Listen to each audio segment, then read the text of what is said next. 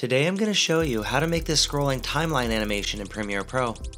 To begin, select your type tool and go over to your preview screen and start typing in your text.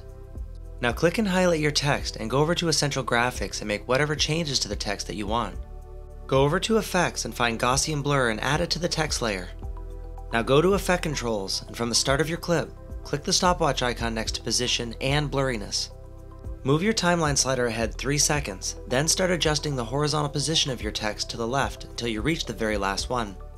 Now click the keyframe button for blurriness again, then move your timeline slider to the center of the two keyframes and change the value of blurriness to 200.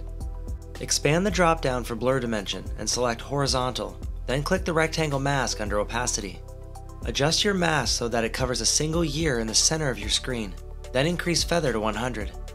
Now click and highlight both position keyframes and right click ease in. Then do it again but select ease out this time.